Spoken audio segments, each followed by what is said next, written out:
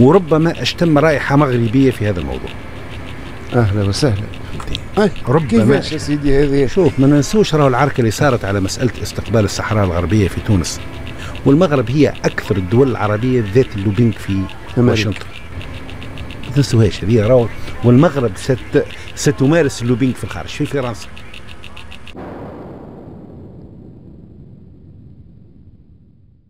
نمشوا مباشرة لقاء مع السيد الرئيس بالسيدة نجلة بدون رئيس الحكومة. نهار الجمعة 28 أكتوبر عناوين اللقاء هذا. الحريات مضمون لا مضمونة لكن لا مجال للتآمر على أمن الدولة ولا يمكن للاستقواء بالخارج أن يشفع لأحد على النيابة العمومية القيام بدورها وعلى المحاكم تطبيق القانون. تصريح هذا خلى الرأي العام في تونس يعني مذبذب شوية. ما فهمش من المقصود أو من هم المقصودون والمعنيون بكلام الرئيس ناس حكاوا على رئيس الدستوري الحر وقت اللي راسلت صندوق النقد الدولي طالبة معناها الاطلاع على فحوى الاتفاقية التونسية مع الافمي وفما شكون فهم اللي هو يقصد في رئيس جامعة تونسية لكرة القدم على خلفية الأزمة اللي اندلعت مرة أخرى بين الجامعة ووزارة الشباب والرياضة وتهديد بتدخل فيفا وربما حتى بإلغاء مشاركة تونس في مونديال قطر. الصحافة العالمية تحدثت الصحافة الطليانية قالت خص كان يتم اتخاذ القرار هذا لأنه إيطاليا ربما هي اللي باش تعوض تونس. آه، يعني كبرت حتى, حتى شقانة زيري فرحوا برشا. آه تداولتها وسائل الإعلام العالمية آه حسب رأيكم كيفاش قريتوه التصريح هذا تاع السيد الرئيس مع لقاءاته المكثفة مع السيدة وزيرة العدل؟ شكون المقصودين؟ هذوما بالتآمر على أمن الدولة ولا يمكن الاستقواء بالخارج أن يشفع لأحد. والله هو شوف يعني هي المسألة هو رو سبقها رو سبقها لقاء زاد مع السيدة وزيرة العدل وتحدث السيد رئيس الجمهورية عن المأجورين والمتطاولين على الدولة. مؤسسات الدولة دونك نفس الخطاب تقريبا اللي قاعدين نسمعوا فيه نستمع عليه من طرف السيد رئيس الجمهورية خاصة فيما يتعلق بعبارة الاستقواء بالخارج لهنا. يعني باش نجم أنت تقرأ شنو اللي يدور في خلد السيد رئيس الجمهورية ونعملوا تكهنات من المقصود ولا من هم المأجورون اللي يتحدث عليهم السيد رئيس الجمهورية. لهنا ربما باش نحلوا نفتحوا قضية كاملة وما نجموش نخرجوا منها.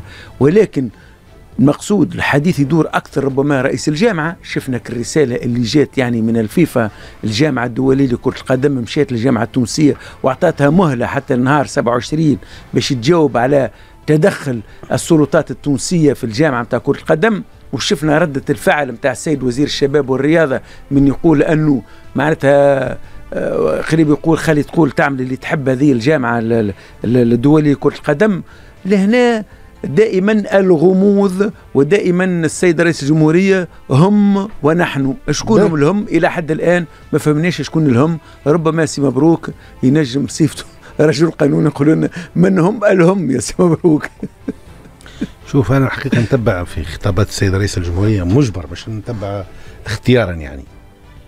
وأنا هذه فكرة التطاول على مؤسسات الدولة. إحنا كلنا ضد التطاول على مؤسسات الدولة. مؤسسات الدولة نعتبرها هي المؤسسات الحامية للمجتمع. لكن إيش راي السيد رئيس الجمهورية إعادة العرشية تطاول على مؤسسات الدولة ولا؟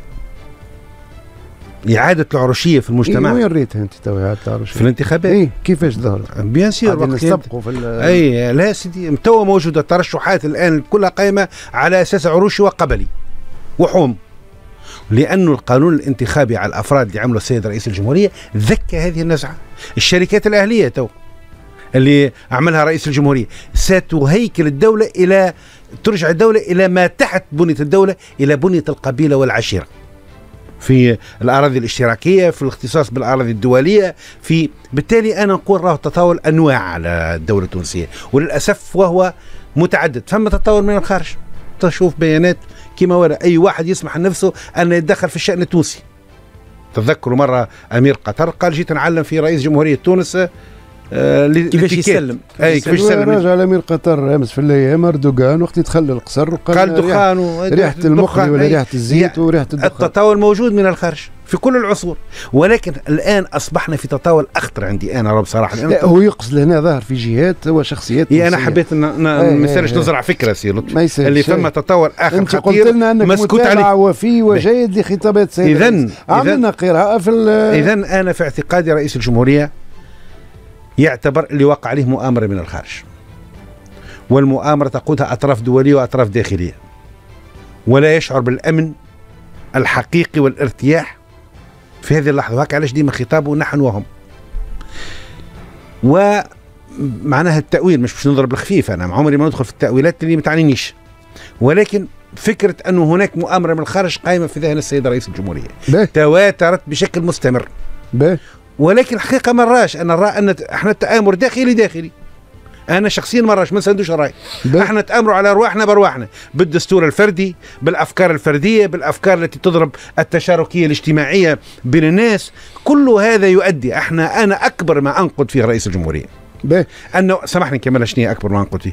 أنه أهدر على التونسيين فرصة كبيرة لتوحيدهم وغرس الأمل والذهاب إلى المستقبل.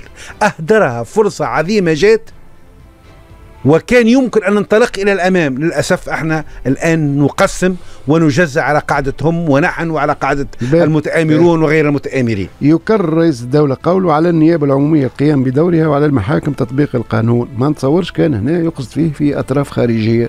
دائما يحكي على النيابة العمومية والمحاكم في تونس فيقصد أكيد في أطراف تونسية بعينها.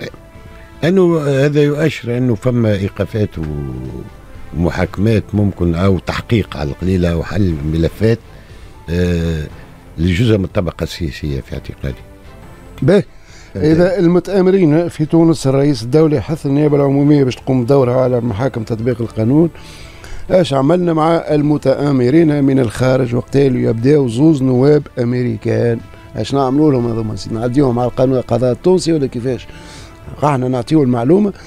هذا النائب جيمس ريتش وروبرت مينينديز واحد من الديمقراطيين واحد من الجمهوريين كتبوا رسالة شديدة اللهجة متوجهين بها لوزير الخارجية الأمريكي وللرئيس بايدن يتحدثوا فيها على الوضع السياسي في تونس على تراجع المسار الديمقراطي و يطالبوا فيه دول الجيسات باش تنسق مع أمريكا في مساعداتها لتونس يطالبوا بعقوبات على الهياكل التي ساهمت في الفساد واضرت بالاستقرار السياسي والاقتصادي في تونس. مراجعة المساعدات مقارنة بتراجع الديمقراطية وإقرار شروط لهذه المساعدات يتحدثوا على القيود على الأحزاب على القضاء في تونس اللي ما عادش مستقل على مراقبة الانتخابات على, على الإعلام. القيود على الحريات بما فيها حرية الإعلام. آه لكن في الأثناء يقولوا سنواصل مد التونسيين بالمساعدات الضرورية يعني يحكيوا على تونس يحكيوا على الشعب في شيرة ويحكيوا على المنظومة الحاكمة في شيرة أخرى. كيفاش قريناه؟ الرسالة هذه علاش توقيت هذا؟ وشنو اللي خلى أنه الديمقراطيين والجمهوريين pour une fois يحطوا اليد في اليد في موقف موحد من آه تونس؟ ربما لأنهم يئسوا من السلطة في تونس. نذكروا لهنا وأن راو بعد 25 جويلية 2021 كبرى المسو... كبار المسؤولين في الإدارة الأمريكية اتصلوا بالسيد الرئيس راو نائبة الرئيس كامالا هاريس. بلينكن آه رئيس مجلس الأمن القومي فما وفد تاع تاع les sénateurs من الكونغرس اللي جاوا بقيادة كريس ميرفي ما نحكيش على تصريح نتاع وزير الدفاع في ألمانيا ما نحكيش أيضا على مساعدة وزير الخارجية الأمريكي المكلفة بحقوق الإنسان والحريات اللي تقريبا ماشية جاية لهنا. ما نحكيش أيضا على التصريح نتاع آه، السفير الأمريكي ما تحكيش ما تحكيش حكيت عليهم الكل إبراهيم. لهنا اعطينا الضغوطات هذه الأمريكية. ورغم ذلك السيد رئيس الجمهورية لم يتحرك قيد انمله لأنه يعتبر هذا تدخل في السيادة التونسية وهذا من حقه وإحنا زاد من حقنا كونه باش نعتبر ان السيادة التونسية حد معناتها خط أحمر ما يلزمش تدخل فيها ولكن وقت اللي تبدأ أنت مرهون للدول الغربية ومرهون خاصة للأمريكان اللي يضمنوا فينا في القروض نتاعنا اللي هما عندهم اليد الطولة على صندوق في صندوق النقد الدولي وعلى مؤسسات المالية الدولية الكبرى وخاصة البنك العالمي اللي هما الرئيس نتاعه هو أمريكي. بالتالي لهنا من نجم ننتظروا منهم كان هكذا ضغوطات. ولو فرقوا لهنا ما بين السلطة القائمة وما بين الشعب التونسي. الشعب هذا مساعد المز... محتاج المساعده باش ياكل. هنا نعطوه 300 مليون دولار هذيك للصمود الغذائي. هنا الوليدات نتاعو معناتها ولا لا ما لقاوش حتى باش باش ياكلوا. ما عندهمش لمجة. أنا نعطوهم 60 مليون دولار عن طريق اليونيسيف باش يصرفوها عليهم واو. إلى غير ذلك. هذه لقينا إحنا في موقف واضح. صعب جدا. نضيفوا لهذا سي إبراهيم أنه إلى حد الآن أمريكا لم آه تعين سفير لها في تونس ونعرف وقت اللي يتأخر تعيين السفير إلى هذه المدة. معناها واضح أنه موقف آه دبلوماسي إحنا تقريبا في قطيعة شبه تامة مع الإدارة الأمريكية أكثر من هكا هو. إحنا توا كي نقولوا هكا برشا وجيعه على بلادنا صراحة. ما نحبوش إحنا زوز نواب يعطيونا درس لا في الديمقراطية لأنهم آخر ناس يعطيو دروس في الديمقراطية هما الأمريكان. أمريكا اللي امس في الأيام أهدت أفغانستان إلى طالبان وبالتالي الدروس هذه ماهوش وقتها. لكن صراحة هذا إقرار وقت اللي يوصلوا الإخوة الأعداء الديمقراطيين والجمهوريين ياخذوا موقف واحد. هذا فشل زاد للدبلوماسية التونسية اللي معناها صفر حضور في الخارج وهذا طالبنا به رئيس الدولة من نهار 26 جويلية 21 فعل علاقات تونس رجع الحزام تاع الصدقات رجع ما تبقى من اللوبيات اللي كانت متعاطفة مع تونس وتعاطفت حتى مع 25 جويلية ولم يتم توصيف ما حصل بالانقلاب رغم ما قام به معناها الإسلام السياسي عن طريق حركة النهضة من تفعيل للوبيات ودفع الأموال لكن صراحة مشينا في صفر.